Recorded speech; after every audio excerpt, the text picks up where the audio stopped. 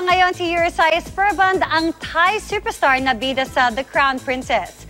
Bukod sa pasasayahin ng fans, di rin daw palalampasin ni Yaya ang pamamasyal at pagtikim ng Pinoy food. Yan ang chika ni Katati Bayan.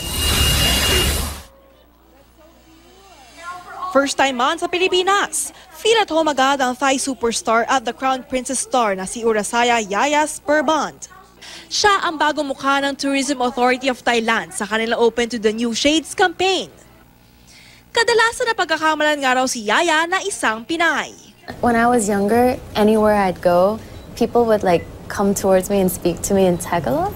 In Tagalog. Tagalog, yeah, because they always thought that I was also Filipino. So I felt like a connection with the Filipinos since I was younger, and I'm very happy to be here. Grateful si Yaya sa mainit na pagsuporta ng Pinoy fans sa kanyang mga series tulad ng The Crown Princess, Switch at marami pang iba.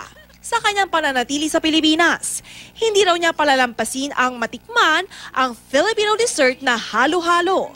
Kung mabigyan ng pagkakataon nga ay balak niyang makapagbakasyon sa mga malaparaisong beach ng bansa, kabilang ang leading man at real-life boyfriend na si Nadek Kugimiya. Definitely, when there's time, we will come. We, we've been wanting to do Cebu, and the beach is here for a long time. Dagdag ni Yaya, huge fan at nagagandahan daw siya sa mga Pinay beauty queens tulad ng 2015 Miss Universe Pia Wurtzbach at 2018 Miss Universe Catriona Gray. Ano kaya reaksyon ni Yaya tuwing sinasabi ng kanyang fans na kahawig niya si Queen Cat? Kapun ka.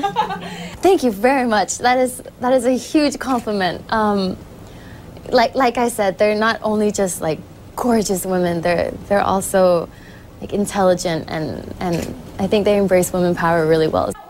Tulad ni Thai actor Mario Maurer, bukas din kaya si Yaya sa posibilidad na gumawa ng series o pelikula dito sa bansa? Please don't hesitate to uh, to uh, contact us. I'd love to. I'd love to. I'm I'm all about widening um, my experiences. Katatibayan, updated sa showbiz happening.